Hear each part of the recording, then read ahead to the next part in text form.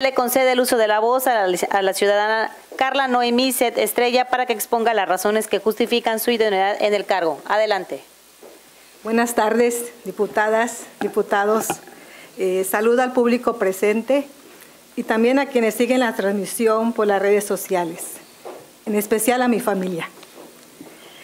Eh, como bien me han presentado, soy Carla Noemí Set Estrella. Eh, yo soy originaria de la zona maya eh, soy de Chunjup, Quintana Roo. De ahí que soy mayablante. Eh, me presento ante ustedes porque considero que tengo el perfil idóneo para ocupar la titularidad del órgano interno de control de la Comisión de los Derechos Humanos de Quintana Roo. Y esto es porque considero que tengo la preparación académica adecuada, y la experiencia laboral suficiente para poder desempeñar adecuadamente las atribuciones y las responsabilidades inherentes a este cargo. Por ello es que voy a presentar un resumen primeramente de mi perfil académico. Soy licenciada en Administración de Empresas, egresada del Instituto Tecnológico de Chetumal. Tengo la maestría en Gestión y Análisis de Políticas Públicas por la Universidad Carlos III de Madrid y estudié el doctorado en anticorrupción y sistema de justicia. Adicionalmente, siempre he procurado estar en capacitación continua, por lo que he participado en diversos cursos, talleres, seminarios, diplomados. Los últimos diplomados fueron en materia de derechos humanos, eh, protección de datos personales, acceso a la información, responsabilidades administrativas y gestión documental, lo que es el tema de archivos.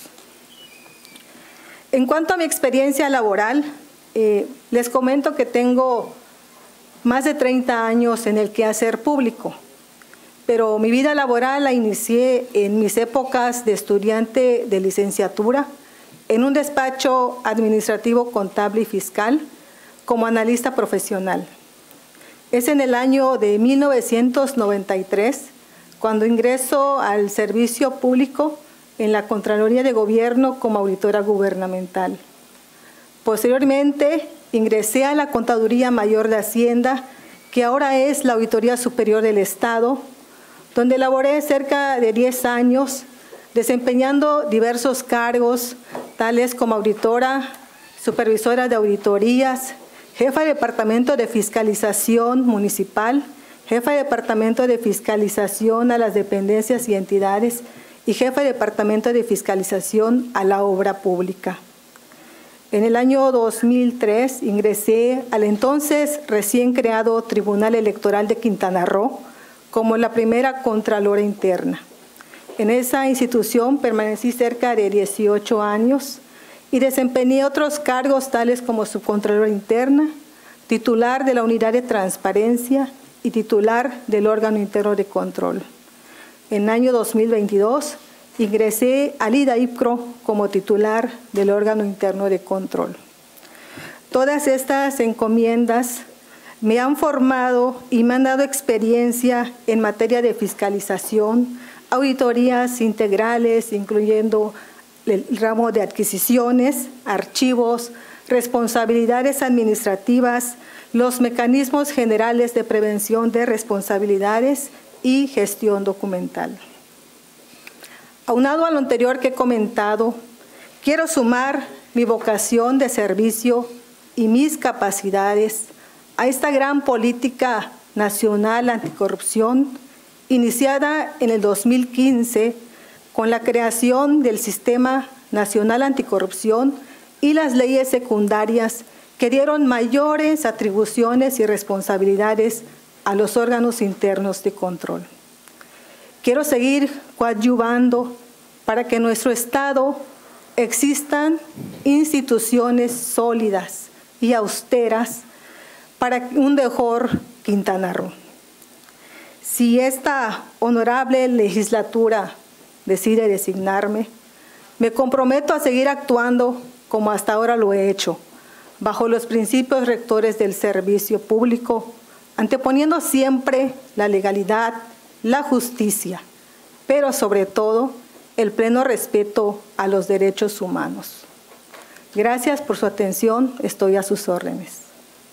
Muchas gracias. Diputadas, diputados, ¿alguien desea hacer uso de la voz? Bueno, me permitiré hacer unas, unas preguntas. Licenciada Carla, y dado su experiencia, veo que revisando su expediente usted ha sido titular de órgano interno en otras dependencias y actualmente también. Entonces, me gustaría precisarle eh, la siguiente. En caso de ser designada usted como titular de órgano interno de la Comisión de Derechos Humanos, ¿cuáles son las acciones prioritarias que llevaría a cabo una vez designada? Con el permiso de ustedes. Eh, primeramente, creo que es muy importante hacer un diagnóstico. El diagnóstico general a la institución y el diagnóstico al órgano interno de control. Ahí habría que determinar cuáles son las prioridades eh, que habría que eh, trabajar, y, eh, pero en lo general lo importante es que siempre tengamos en cuenta que una de las principales funciones y atribuciones del órgano interno de control es establecer los mecanismos generales de prevención. aunado a todos los resultados que se pudieran obtener en el diagnóstico, eh, ahí lo que pudiéramos ver son las áreas de oportunidades, pero em, eh, siempre es necesario que aparte de eso eh, tengamos en cuenta esta, la prevención. Y esto es trabajando con el personal, siempre con los códigos de ética y conducta que son muy importantes. siempre he pensado que la conducta de las personas servidoras públicas son básicas, son elementales para tener una buena gestión institucional. Eh, primeramente eso trabajaría, los códigos de ética y de conducta, posteriormente revisar también cuánto se ha avanzado en los controles internos, qué hay y qué más se puede hacer con ello. Otra cuestión muy importante es la profesionalización de las personas que integran los órganos internos de control. Independientemente del número de personas que exista, Siempre debemos procurar que tengamos todos los conocimientos adecuados, suficientes, para poder desempeñar esas atribuciones y responsabilidades. Es muy importante que el órgano interno tiene una función también de revisora, previsora, y hay que estar actualizados, hay que conocer todas las leyes, toda la normatividad que rige la función y aplicarlo. Eh, también esto, y esto lo he aplicado en las instituciones donde he estado, es muy importante también capacitar al personal en el tema de sus responsabilidades, porque eh, muchas veces el trabajo eh, como institución a veces no permite que uno conozca la otra parte, si me equivoco, que, cómo me sancionan o qué puedo hacer o qué no puedo hacer. Em, me ha resultado invitar a las instituciones que tienen experiencias en diversos temas, como por ejemplo a la Secretaría Técnica del Sistema Estatal Anticorrupción, para que acuda a las instituciones en un Estado para hablar sobre sus atribuciones, que todos sepan que existe una política estatal, que todos sepan que, en dónde está la institución a la que pertenecemos y cuáles serían nuestras responsabilidades para cumplir adecuadamente esta política. También he invitado a la Auditoría Superior del Estado por los temas referentes a las entregas-recepciones, adquisiciones, las mismas auditorías, saber que todos sepan el motivo por qué la auditoría existe y cuál es la relación que guarda con cada institución. Eh, así eh, con diversas instituciones he trabajado, eh, lo mismo el tema de integridad, responsabilidades administrativas.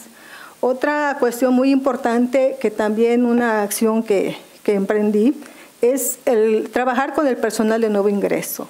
creo que se ha perdido un poco el tema de la inducción a los, a cuando uno ingresa al trabajo. Entonces planteamos una acción que llamamos pláticas eh, informativas en materia de responsabilidades, donde eh, damos a conocer toda la normatividad interna que rige al ente, eh, incluyendo los códigos de ética, de conducta, y les explicamos cuáles son sus responsabilidades, sus obligaciones, pero también cuáles son sus derechos.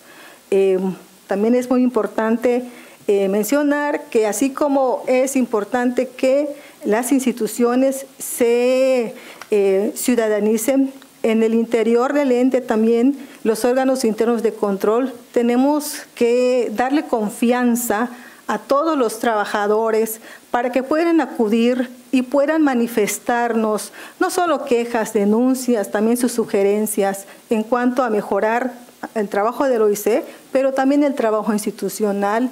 Y eso es muy importante porque también a nosotros como, este, ah, como titulares y como integrantes de un órgano interno de control, nos da las pautas para saber si el clima laboral es adecuado o tenemos también que actuar por oficio.